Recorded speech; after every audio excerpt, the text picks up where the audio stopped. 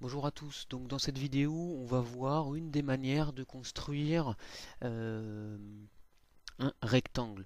Alors je vais aller beaucoup plus vite dans cette vidéo que dans celle du carré où j'ai fait un rappel euh, en introduction de la barre d'outils un petit peu spéciale que vous pouvez trouver dans la configuration débutant et aussi sur l'explication du pourquoi de cette technique. Donc là je vais aller beaucoup plus vite le, protocole de construction d'un rectangle est très proche de celui d'un carré. Donc là, on va partir sur un rectangle.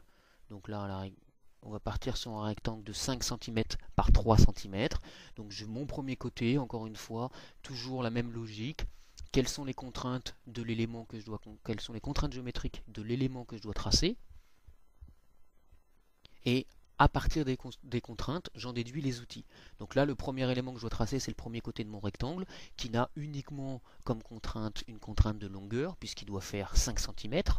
Donc, je vais utiliser l'outil cercle centre rayon, et je trace un cercle de 5 cm de rayon. Je valide par OK.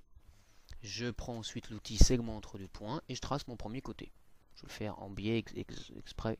Voilà, je valide sur cercle C, et j'ai mon point cache avec un clic droit mon cercle. Maintenant, j'ai mon deuxième côté. Mon deuxième côté, il a deux contraintes géométriques, comme pour le carré, une contrainte de longueur, 3 cm, et une contrainte d'angle droit. Qui dit contrainte d'angle droit dit droite perpendiculaire, passant par B, un clic, et perpendiculaire à mon segment AB, un deuxième clic. Qui dit contrainte de longueur dit, comme pour le premier côté, l'outil cercle centre-rayon, centre B et de valeur 3 cm. J'appuie sur Entrée pour valider. Mon point C sera donc à l'intersection des deux, du cercle et de la droite. Je peux cacher, donc clic droit sur le cercle, afficher l'objet, clic droit sur la droite perpendiculaire, afficher l'objet. Et avec mon outil segment entre deux points, je relie B et C. De la même manière, pour mon troisième côté, j'ai une contrainte d'angle droit, donc droite perpendiculaire, perpendiculaire de mon deuxième côté passant par C, et une contrainte de longueur 5 cm. Donc outil cercle centre rayon, passant par C, et de valeur 5. Comme tout à l'heure, j'ai mon nouveau point à l'intersection où je peux tracer euh, effectivement directement le segment qui part de C et qui va à l'intersection du cercle et de la droite. Comme tout à l'heure, je cache, l'objet. Voilà. Et mon dernier côté, je n'ai plus qu'à le relier. Je vérifie avec l'outil distance ou longueur, j'ai bien 5, 3, 5, 3. Je rappelle que pour mesurer un segment, on peut soit cliquer sur le segment, il y a la valeur qui s'affiche, ou alors cliquer sur le point de départ et le point d'arrivée.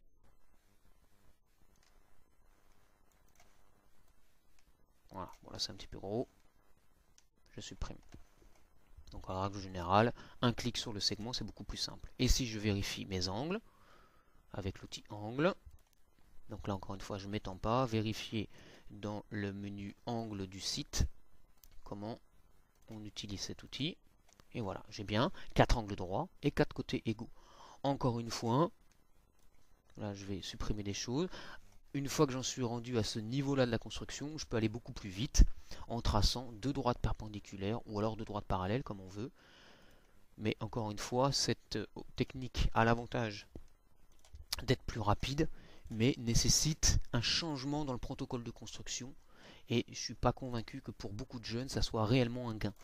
Euh, des fois, ça les perturbe plus qu'autre chose, donc il vaut mieux rester sur la méthode de base. Donc là, je cache, voilà. Ceci dit, cette technique peut avoir un intérêt pour certains jeunes.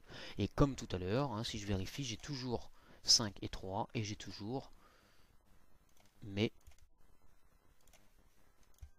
4 angles droits. Voilà donc pour la construction d'un rectangle dans GeoGebra.